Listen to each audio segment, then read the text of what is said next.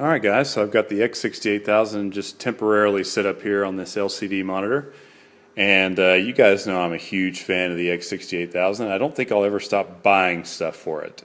And so that leads me to my recent get. This is actually an extremely rare piece of hardware for the X68000. And this particular piece of hardware is for the X68000 Super, Expert, and Ace models which share similar motherboard layouts. And what this is, is a CPU accelerator.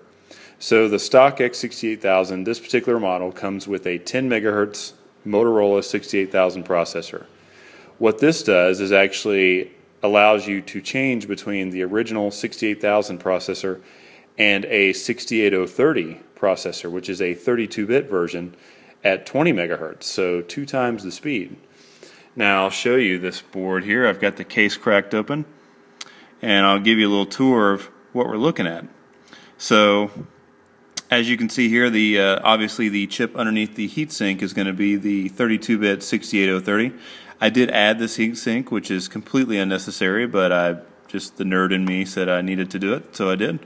Uh, here is the original stock 10 megahertz Motorola 68000 processor. This one's made by Hitachi and you've also got a floating point unit unit right here. So uh, math coprocessor. There's really not many games that actually use that, but uh, but it's there should they need to. And this just snaps right into the original CPU socket, and you may be able to see the pins right there. Uh, those are the pins that correspond with the original socket that this CPU is plugged into. Now, the way this works is it's entirely software driven. So I install a piece of software that loads into the SRAM, which is essentially like where the, your BIOS settings are kept. And this changes the boot configuration a little bit. And I'll go ahead and demonstrate that now. So I'll reset. So if I hold down XF1, you'll see I get a menu here. So uh, MPU, microprocessor unit. So it's asking me, okay, which CPU do you want to use? And the reason this is handy is because a lot of games are not compatible with the 68030 or don't work well with the 68030. So you can always go back to the legacy mode and select 68000. And uh, that way you get the compatibility as well. So there it tells you there, Xellent 30. That's the custom boot screen, 68030 20 megahertz. And the performance increase is pretty good. I would say it's probably on par with an XVI, uh, which may be surprising to some of you, but you have to consider that the 68030 is going to be hindered by a 10 megahertz bus. So you're running a 20 megahertz processor, but the bus speed of the motherboard does not change. So uh, you still are limited by that 10 megahertz bus.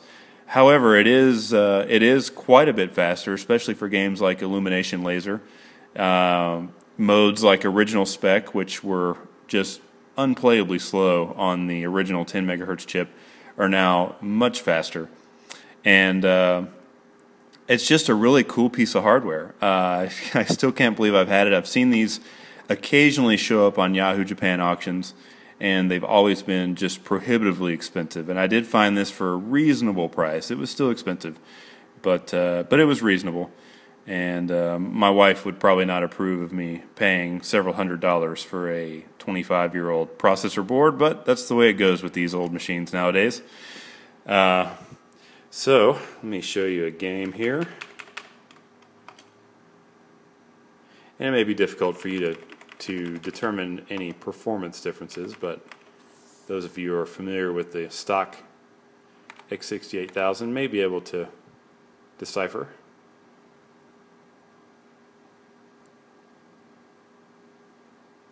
And this, this processor running at 20 megahertz doesn't really get even warm. Uh, the heatsink is totally overkill, but uh, it just looks cool. Like it's got more power than it than it really ever should have, which I guess is the case, but.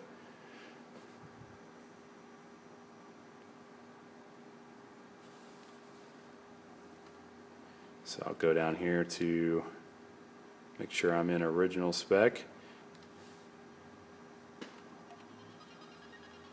And this was completely unplayable on a on the 68000.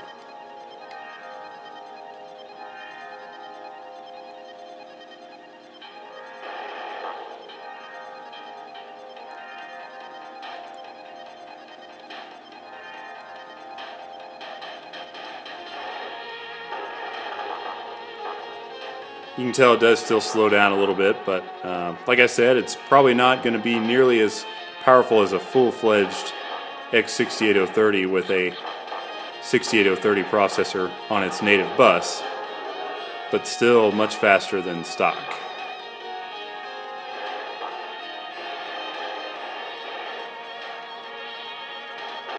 Alright, so I'm going to uh, show you a game that doesn't work. Now there are a lot of patches that you can install to uh, fix the compatibility issues, which I have not installed any of those yet. Um, I'll get around to that.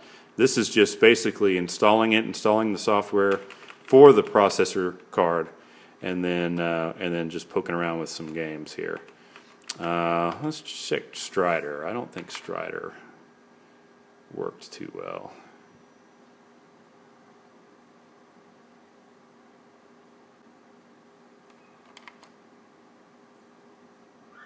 Nope, nothing else. That's it. Oh.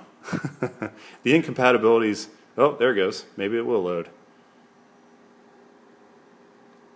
The incompatibilities will uh, will vary from uh, from corrupt sound to uh, yeah. This one seems to work.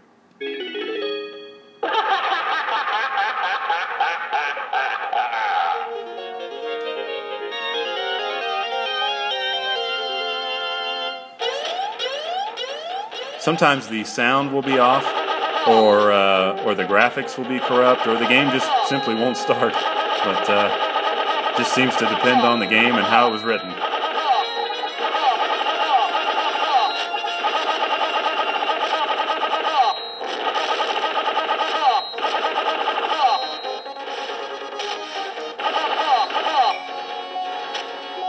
Anyway, I hope you guys enjoyed taking a look at this rare piece of hardware, the processor accelerator, the Xellent 30S, and I'll see you next time.